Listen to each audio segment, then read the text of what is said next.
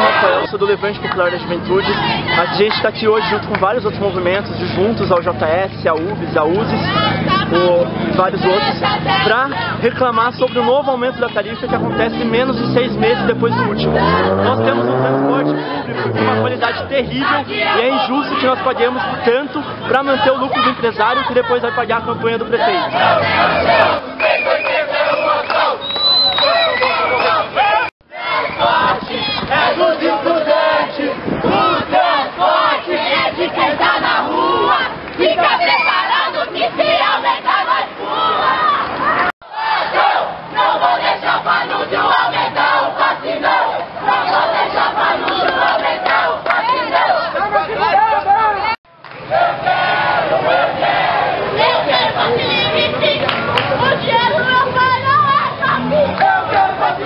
O dinheiro não vai não é passe. Eu quero passe livre Eu quero passe livre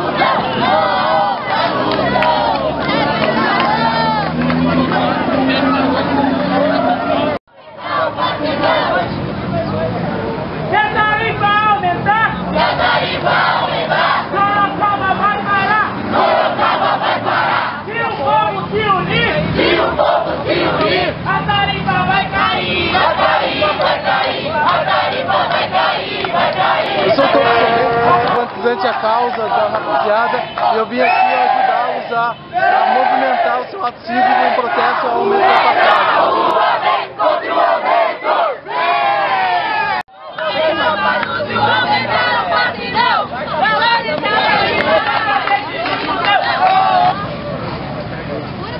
passagem.